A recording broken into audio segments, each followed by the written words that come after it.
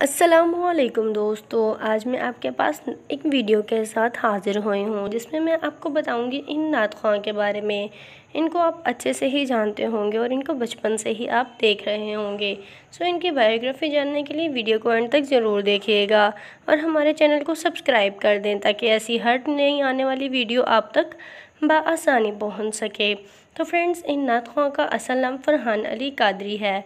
जो कि फ़र्स्ट अक्टूबर 1995 को पाकिस्तान के शहर जकोबाबाद में पैदा हुए। इनको पाकिस्तान का मशहूर नात कहा जाता है, जिन्होंने उर्दू, सिंधी, सराइकी और पंजाबी में नातें पढ़ी। इसके अलावा ये बंगाली और इंग्लिश में भी अब नातें पढ़ चुके हैं।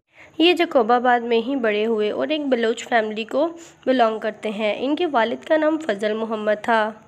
इन्होंने पाँच साल की उम्र में ही नात पढ़ना शुरू कर दी। अपने स्कूल में हर मिलाद में ये नात पढ़ा करते थे और इनको सबसे ज़्यादा रिकग्निशन अपनी नात नूर वाला आया है की वजह से मिली।